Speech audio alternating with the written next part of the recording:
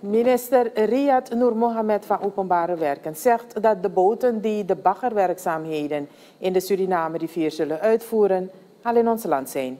Momenteel maken de deskundigen calculaties van de situatie in de rivier om precies te weten hoe het project moet worden aangepakt.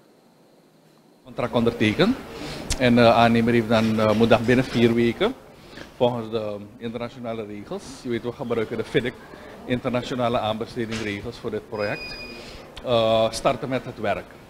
Dus uh, direct daarna uh, zijn de werkzaamheden opgestart. Op dit moment is het zo dat een aantal boten er al zijn. Um, en er wordt nu de meting verricht in de rivier. En de deskundigen zijn ook al gearriveerd. Vanwege COVID was er een kleine vertraging, want je hebt zoveel lange procedure. Je weet als iemand komt uit het buitenland, maar dat is ondertussen geregeld. Um, en uh, een van de nieuwste speciale boten voor dit project, uh, als ik me niet vergis, vaart nu naar Suriname. Dus die moet elk moment aankomen of moet nog komen. En dan zullen de werkzaamheden uh, daadwerkelijk fysiek beginnen. Maar dit zijn een aantal dingen die eerst moeten gebeuren natuurlijk.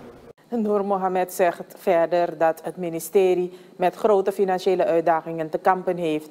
Er wordt daarom hard gewerkt aan bezuinigingen op het departement. Het geld dat daarbij wordt bespaard zal volgens Noor Mohamed heel efficiënt worden gebruikt.